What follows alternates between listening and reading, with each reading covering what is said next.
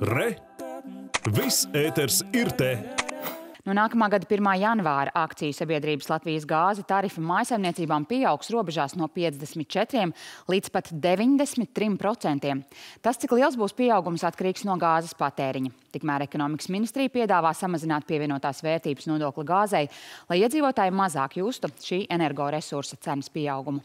Plašāk Īļa Kozinas sižetā. Pasaules ekonomika turpina atvesļoties no Covid-19. Tas rada situāciju, kurā pieprasījums pēc dabasgāzes pasaulē ir ārkārtīgi liels, bet piedāvājums salīdzinoši zems. Tas kopā ar citiem faktoriem gāzes cenas dzen uz augšu.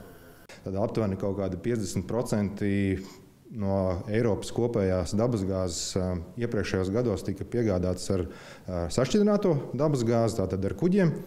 Savukārt šo, šobrīd šo sašķidrinātās dabasgāzes ražotāji dabasgāzi tirgo Āzijas tirgos, jo tur cenas ir vēl apmēram par 20% augstākas nekā tas ir Rietumē Eiropā. Ja šobrīd viens kubikmetrs gāzes maksā 71 centu, tad jau no nākamā gada 1. janvāra būs jāmaksā 1 eiro 10 centi. Ja jūs izmantojat gāzi tikai ēdienu pagatavošanai, tad izmaiņas nav tik dramatiskas. Sliktākā situācijā ir tie, kas gāzi izmanto apkurei.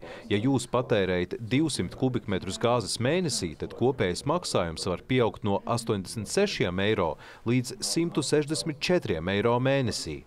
Faktiski arī mēs esam zināmā mērā ķīlnieki, jo mēs arī esam atkarīgi no tā visa, kas notiek pasaulē.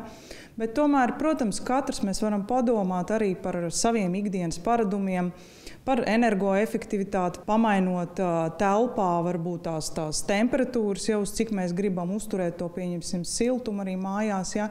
Loģiski pamainās arī mans kopējais rēķins, piemēram, arī par apkuri. Apzinoties situācijas nopietnību, ekonomikas ministrija valdošās koalīcijas partneriem pirmdien piedāvās ieviest uz laiku samazinātu pievienotās vērtības nodokļa likmi gāzei un gāzes sadalas tarifa samazinājumu par 50%.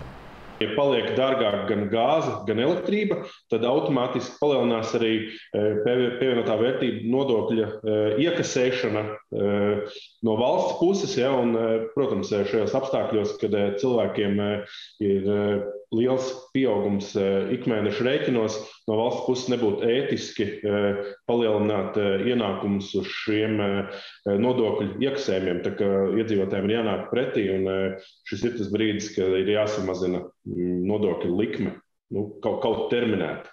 Par to, uz cik ilgu laiku samazināt PVN likmi gāzei un elektrībai, vēl diskutēs koalīcijas partneri.